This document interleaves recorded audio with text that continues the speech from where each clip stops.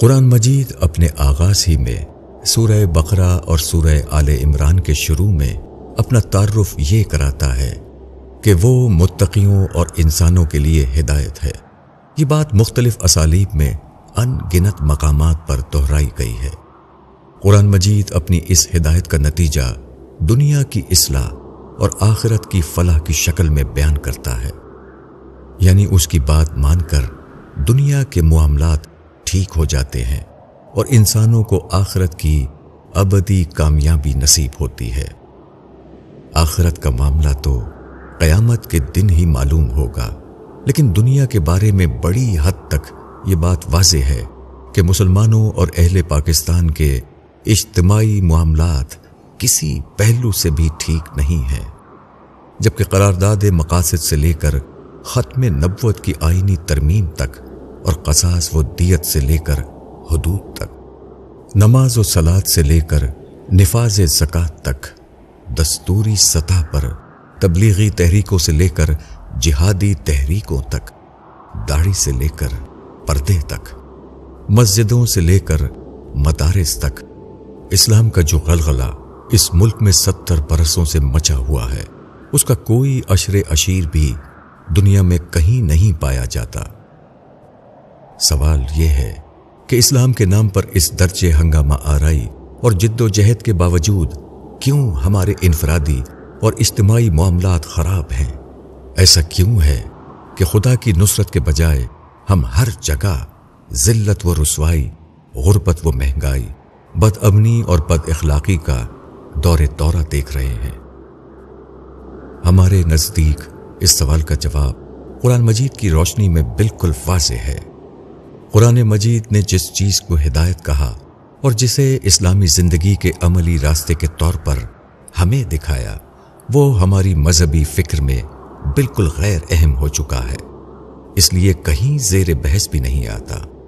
قرآن مجید کے بتائے ہوئے اس راستے کو ہم نے قرآن کی آیات اور اسوائے حسنہ کی روشنی میں اپنی کتاب قرآن کا مطلوب انسان میں جمع کر دیا ہے۔ اس کا خلاصہ یہ ہے کہ انسان اللہ کی محبت اور بندگی کے جذبے سے سرشار ہو اور اپنے ہر تعصب اور عقیدت کو خدا کی مرضی کے سامنے ہیچ سمجھے۔ انسان دوسرے انسانوں کے حوالے سے عائد ہونے والے فرائض اور ذمہ داریوں میں آخری درجے میں حساس ہو اور لوگوں کے ساتھ احسان اور عدل کو زندگی بنا لے۔ یہ منکرات اور فواہش سے بچ کر ایک پاکیزہ زندگی گزارنے کا نام ہے۔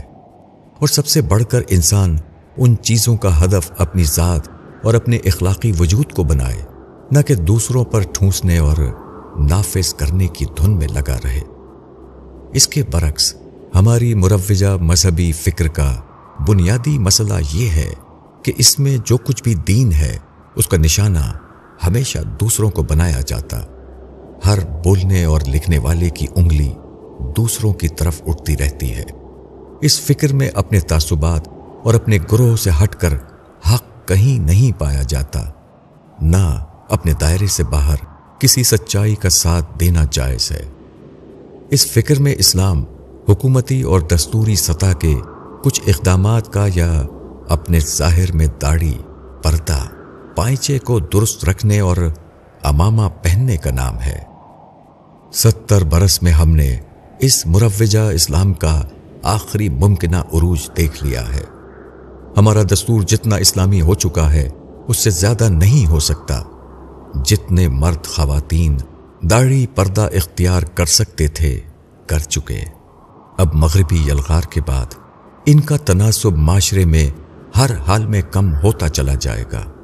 جتنی لڑکیاں پردہ کریں گی، اس سے دس گنا زیادہ دوپٹہ اتاریں گی۔ اور جتنے مرد باشرا داڑھی رکھیں گے، اس سے دس گنا زیادہ لوگ داڑیاں کٹوائیں گے۔